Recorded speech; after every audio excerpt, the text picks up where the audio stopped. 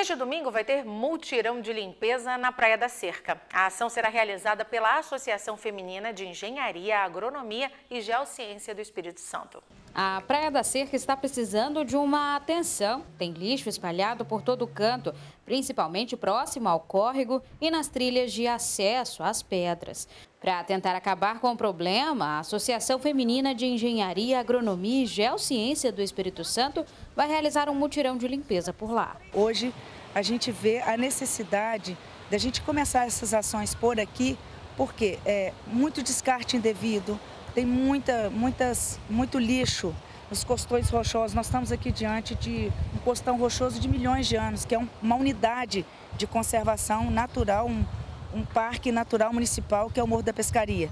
Ali hoje a gente tem incidências de muito lixo não é? e nós vamos atingir essas adjacências da Praia da Cerca. Nós vimos muitos resíduos domésticos, né? muitos resíduos de utilidade comum, como o plástico, resíduos é, orgânicos e principalmente orgânico que é levado diretamente para o mar e isso aí traz para a gente uma eutrofização muito gigante. Nós temos aqui um encontro né, do rio, né, do mangue com o mar, então é um casamento e esse resíduo ele traz muitos impactos negativos. A associação é estadual e nasceu há cerca de seis meses. Segundo Monique, a FEAG tem mais de 300 profissionais que se uniram para realizar esse tipo de ação e decidiram começar por Guarapari. A gente está fazendo a abertura do nosso ano com a intenção de projetos sociais também para todo o Espírito Santo.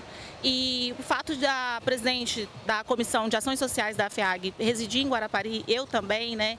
E também a outros integrantes, a gente conseguiu puxar para Guarapari o evento de ação Limpa Praia. Para elas, esse tipo de ação pode contribuir para a limpeza da praia mas, muito além disso, o mutirão vai gerar conscientização. A gente fez um cronograma, né, um calendário para o ano todo, a começar por Guarapari, e uma, uma das alternativas principais é a ambiental. Então, a gente vai ter tanto para os mais velhos quanto para as crianças, para já crescerem com essa consciência, já colocando a mão na massa. Esse mutirão de limpeza da FEAG vai acontecer neste domingo a partir das 8 da manhã. E além dessa ação de limpeza, vai ter também café da manhã e palestras de conscientização. A gente vai ter um café da manhã para os inscritos, é, vai ser um mutirão para a família, aberto para as crianças, então a gente vai ter palestras, vai ter é, é, é, palestra educativa para as crianças. A intenção do mutirão é conscientizar. A gente vai passar aqui a manhã toda trabalhando isso, inclusive com palestras.